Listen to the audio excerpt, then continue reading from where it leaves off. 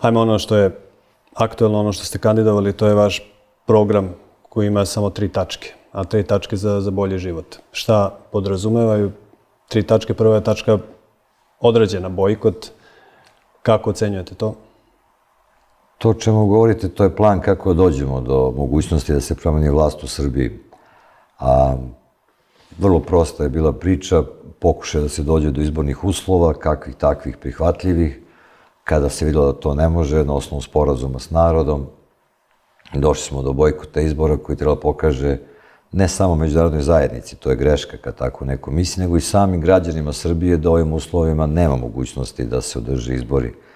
I ovi ljudi koji su na neki način prekršili datu reč da neće izaći, izašli na izbore su dokazali u stvari da nema uslova, pošto ni u ovim uslovima, ni sa smanjenim cenzusom niko nije mogao da pređe ta 3%, a i dva sjajna gradonačelnika Paraćina i Šapca u sve rezultate koji su napravili i uradili nisu mogli da pobede u svojim lokalnim sredinama.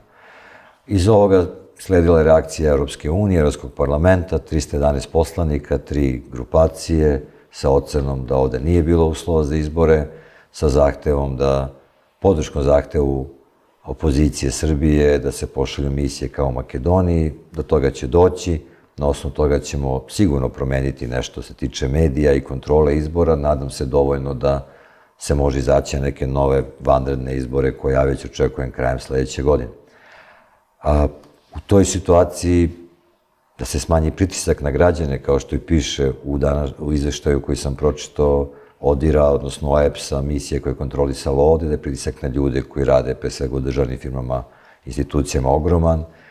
Kada dovedemo do svega toga, onda imamo šansu da nešto uradimo na tim izborima. Ono što je važno, jeste što ja smatram da nije dovoljno što uglavnom opozicija radi i govori da ovo ne valja, navodi šta sve ne valja, Mislim da to ljudi sami već uveliko vide šta ovde sve ne valja, da su oni jako svesni da ova vlast ne može da reši njihove najvažnije probleme, evo počeši od zdravstvenog sistema i toga šta se tu sve dešava, ne samo zbog covid nego uopšte, problema u poljoprivredi, gde naši ljudi koji se bave time zaista već toliko se romašila država svojom politikom da pitanje kako preživljavaju, kriminal, korupcija, stanje u obrazovanju, odlazak ljudi iz Srbije, to je nešto što je jako bolno, a što je nažalost strašno prisutno i svesni su da nešto tu mora se promeni. Suština je ponuditi neko, nešto, šta će biti posle.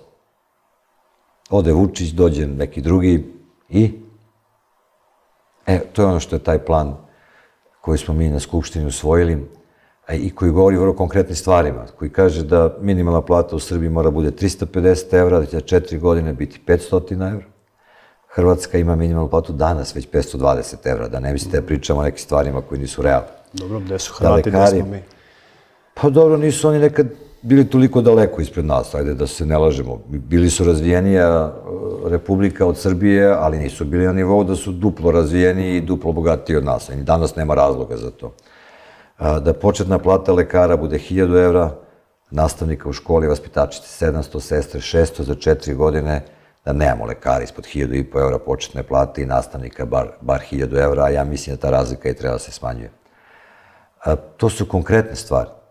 Kada pričamo o tome, pričamo o konkretnim stvarima, da napravimo domaću investicijnu banku, da ona finansira našu privredu, da prekinemo subvencije stranim kompanijama u oblastima koje nisu strateški važne za nas, ne treba nam motanje kablova, zaista, a, da razvijamo privredu, da, da smo otvoreni za sve, ali da za neku, neku industriju, pošto sedimo danas u Zrenjaninu, ako će neko da proizvodi gume ovde, onda mora da, da, da zaista sprovodi standarde Europske unije da bi ljudi ne samo dobili platu, nego da bi mogli da prežive, da se ne razbole od svega toga što će se dešavati.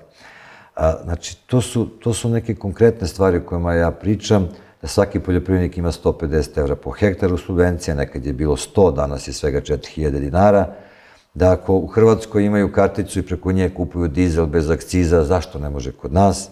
Da kažemo da nema prodaje državne zemlje, da nema monopola, da ne može jedan da ima desetine hiljada hektara, jer ne može ni u Europskoj uniji da ima toliko niko sam, pa da onda on sam se određuje, pa ima i svoje silose, pa onda i određuje cenu i kupuje i skladišti.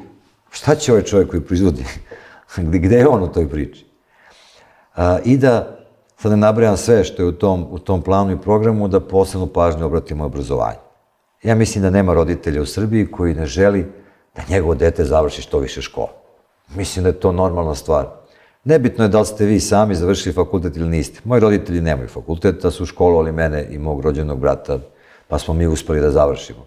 A, da im damo što više škole, da bude obrazovanje naravno besplatno, obavezno i za srednju školu, ali tako da a oni roditelji koji nemaju dovoljno para da država pomogne da se dete školuje, ne da ga teramo da radi sa 16 godina